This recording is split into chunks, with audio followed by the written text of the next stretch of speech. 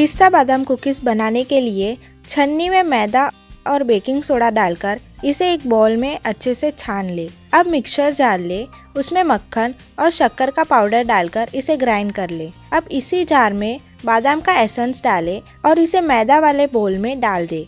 अब इसमें दूध मिलाते हुए इसका आटा गूंथ ले। आटा गूंथ जाने पर इसे प्लास्टिक से अच्छे से कवर कर ले और आधे घंटे तक रेफ्रिजरेटर में आराम दे। अब आटे को रोल करने के लिए बटर पेपर को प्लेटफॉर्म पर फैलाएँ और ओवन ट्रे पर भी बटर पेपर को रखें। अगर बटर पेपर ना हो तो ओवन ट्रे को मक्खन से ग्रीस कर लें। अब आटे का आधा हिस्सा लेकर इसे बेल ले।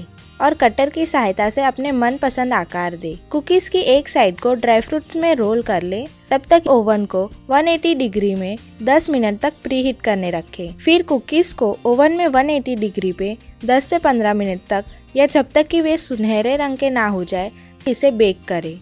हमारी कुकीज सर्व करने के लिए तैयार है।